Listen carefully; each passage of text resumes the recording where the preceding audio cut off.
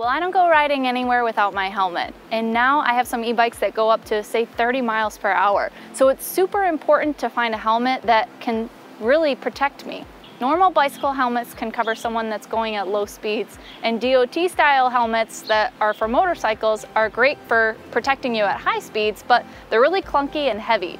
So there needs to be something in between.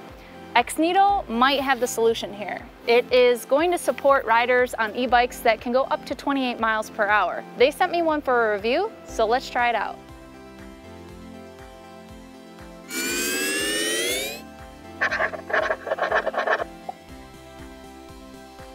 Although I don't plan on crashing in this video and really testing the impact quality of this helmet, I think you'll appreciate everything I have to tell you about it.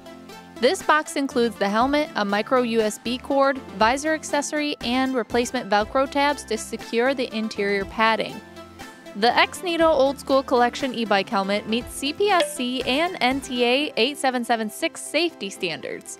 Although this helmet does not include MIPS certification, Xnito claims that MIPS improves rotational shear impact protection by 10%, while the NTA 8776 standard provides an 87% increase in overall protection.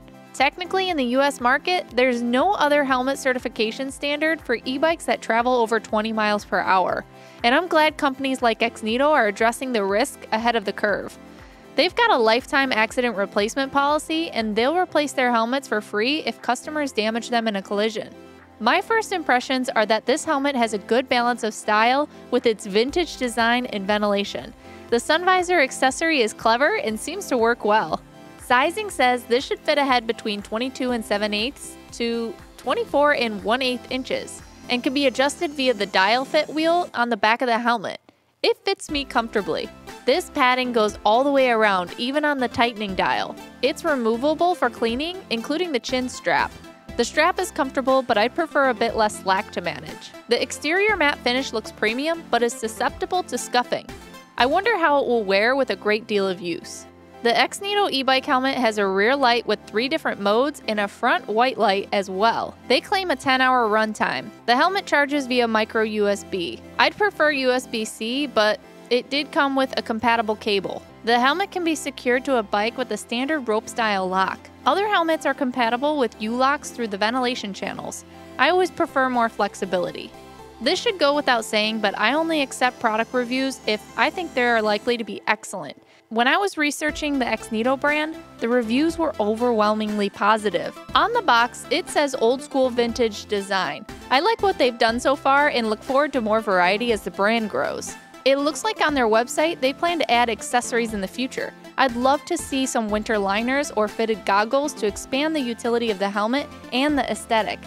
Matching safety gear like knee or elbow pads for electric skateboards or unicycles could be pretty cool.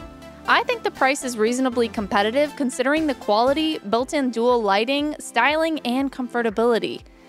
If you want to purchase one of these Xnito helmets, see the link in my description below. Thank you all for watching this review on the Xnito e-bike helmet.